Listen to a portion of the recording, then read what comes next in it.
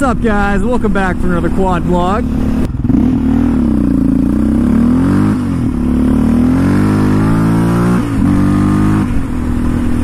I hope all you guys had a great week. I know I missed last week's video after I told you guys I was to try to upload more consistently every Saturday, but I really don't have an excuse. I, I, I just didn't upload a video last Saturday.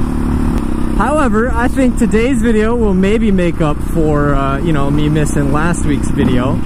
Right now we're headed to the dealership on the Raptor 700 because at the dealership they have demo days for Indian motorcycles. And I know it's kind of a quad vlog. I guess it's it won't be a quad vlog really, but um, I'm gonna try to go test ride the new Indian FTR 1200.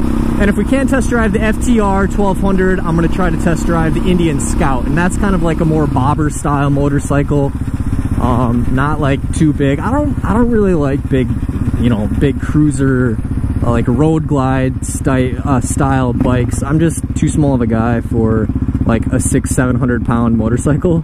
So I'm gonna try to stick with kind of a, a smaller bike to test drive. Oh crap, I forgot I'm on the quad and not the bike and we can't take the interstate on the quad so crap. I guess I'm gonna have to turn around and kind of take the back way. Actually wait a minute.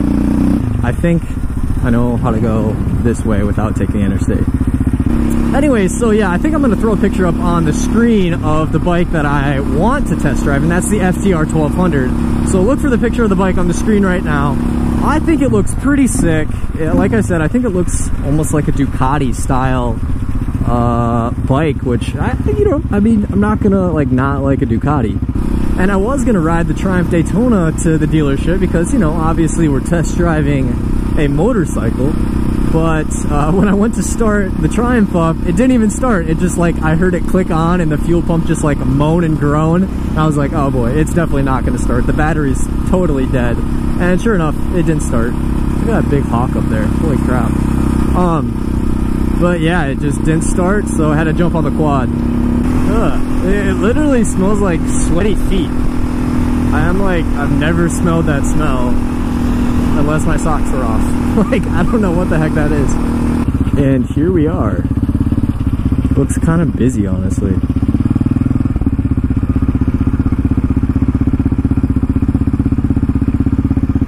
They have the bike I want, though? I don't see it. They definitely don't have it. That sucks. Looks like they have plenty of scouts though.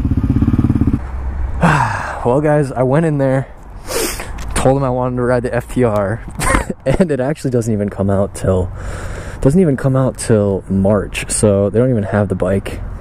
Um, so basically I'm riding a Scout, which is pretty much the only other bike I wanted to ride anyway. But it looks like we have a super nice Ninja here. This thing is sick. FC10. That's a nice bike too. So yeah, apparently it doesn't even come out till March. I don't know. Maybe I'll come back and try to ride it then. Fun fact, this dealership like advertises on Facebook all the time and the only ads they've been running are for these stupid Jeeps. Like $18,000 for one of these things. Like granted it, it I mean it kind of looks cool and unique and it's like based off the I guess the old like Willys platform or whatever, but $18,000 for this thing? No way. And I'm pretty sure they're always advertising for them because no one wants to buy these things. Like, anyways, I just wanted to tell you guys that because I think it's hilarious that all they're doing is just advertising these, trying to get rid of them, and they literally can't get rid of them.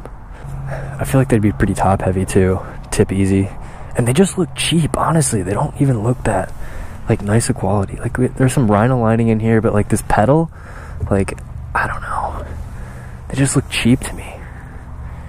For 18 grand, they must be making bank off these. I doubt these like cost any more than like 5,000 to produce. And if you guys know something that I don't about those like Jeeps, let me know in the comments below because I'm definitely hating on them. I apologize if any of you have one, but I just think they're overpriced. Ooh, but this raptor though. Ooh, clean. Not really though. This thing is beat. oh, it looks like they just came back. And I think that's the one I'm gonna be riding, that black one right there.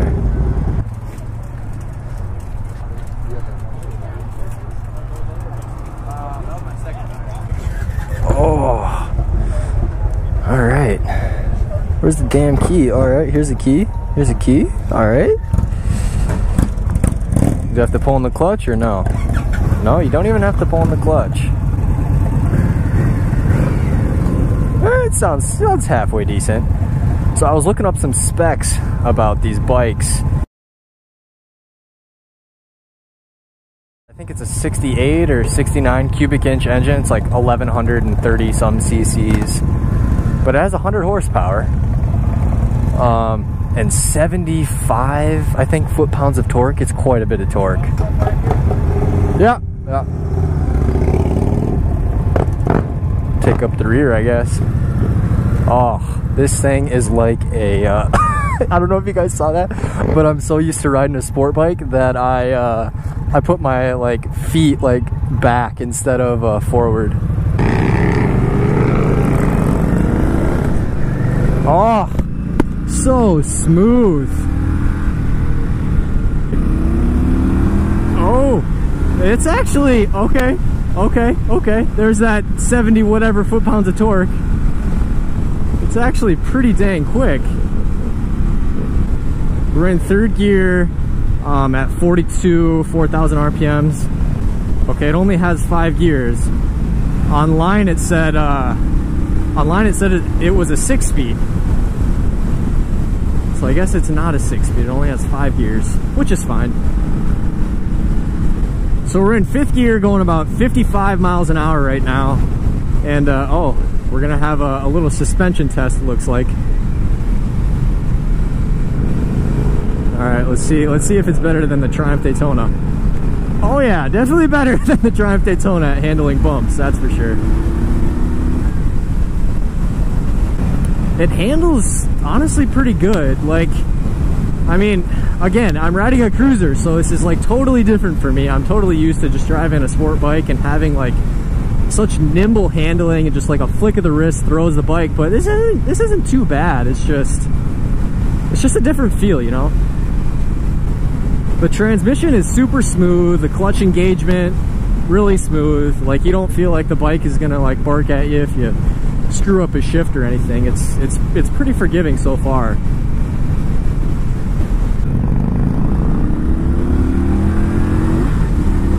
Oh yeah, it's quick. It's pretty quick. The only thing I gotta say about the power and the power delivery is that it really gets up to the higher RPMs quickly. You know, it, it, doesn't have a very high red line, and so, you know, you got to shift pretty quick. I mean, you can, you know, floor it and it, it goes, but um, it just doesn't ring out as much as like an inline four or something. I really got to nail down how comfortable it is. The bike is super comfortable. The seat is great. Riding position is great. Like, I feel like I could literally ride this all day long. You know, my back position's in a good spot. My hands feel good got really no complaints about comfort at all.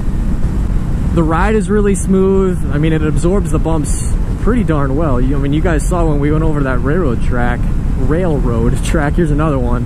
I mean, it really doesn't launch you up into the air like you know, other bikes do. I mean, just takes it like a car does, pretty much. And you got all that power down low. This bike is such a different feel to me because of the rake of uh, this bike is so much so much more than a sport bike. You know, sport bikes are a lot more vertical. Their forks are a lot more vertical than a typical cruiser is, and so that affects the handling a lot. But it makes the ride a lot more comfortable and smooth as well. Very smooth. Gearbox is like butter. Can find neutral super easy. That's I can always appreciate that because sometimes my Daytona doesn't find neutral very well.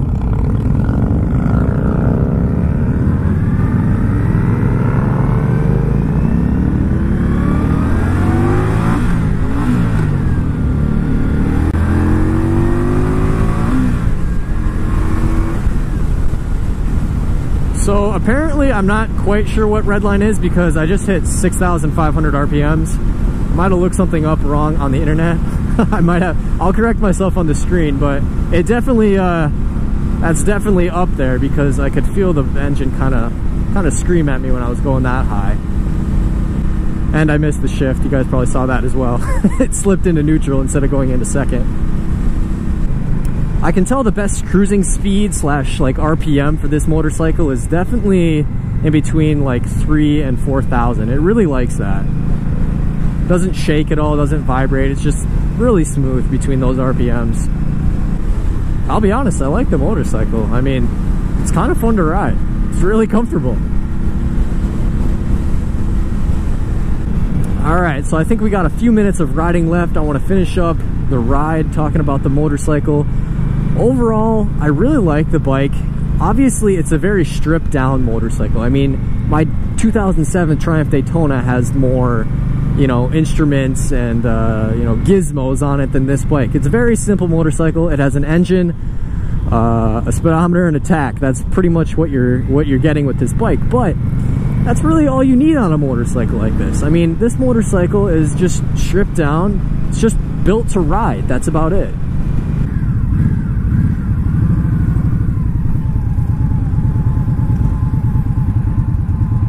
Oh my god, I'm putting my foot down where I would on my Triumph again.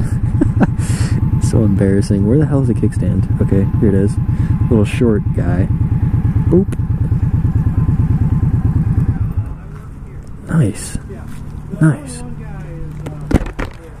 You know guys, one thing I think I forgot to mention is this bike is liquid cooled versus all the other ones look to be air cooled. It looks like they have an oil cooler but uh, does not. I don't think they have radiators. So this is liquid cooled, which, I mean, let's be honest, I would definitely prefer over an air cooled engine.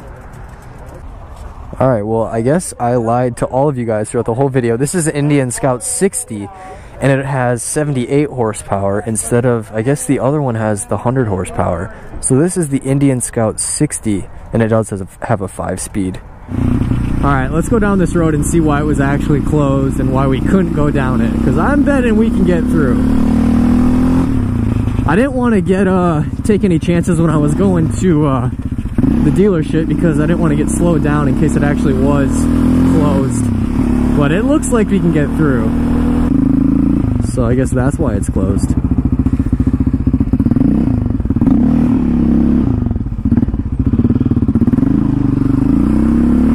No problem.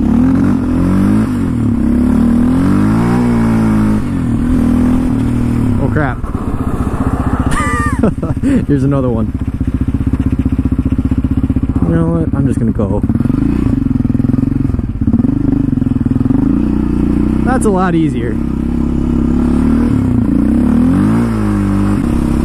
Alright guys, I'm gonna finish up this video overall, I really enjoyed riding the Indian Scout 60, and I apologize again for pretty much lying to you guys before uh, I found out really what the bike was. It has 78 horsepower, and I'll correct the torque number on the screen, and it only does have a 5-speed transmission. But that being said, it actually did feel like a 100 horsepower motorcycle. It actually had quite a bit of power, and I was really impressed with um, how it delivered that power. It was really smooth, and I talked to the guy, and it actually does have the same final drive. I don't know personally if I would be in the market for buying that specific motorcycle just because of the price tag it comes with, with uh, what you get when you buy the motorcycle. It's it's pretty bare bones, honestly, but if you like, you know, Indian motorcycles and the heritage and the history, the name, uh, comes with, you know, I would definitely check out that motorcycle because it is a nice bike. It is very comfortable, like I've been saying the whole video. It's literally like riding a, uh, it's literally like riding a recliner down the road. Alright guys, I think this is where I'm to wrap the video up. If you enjoyed it and you enjoyed seeing the Indian Scout 60, drop me a like and subscribe below. And as always, I will see you guys hopefully next Saturday for another quad vlog.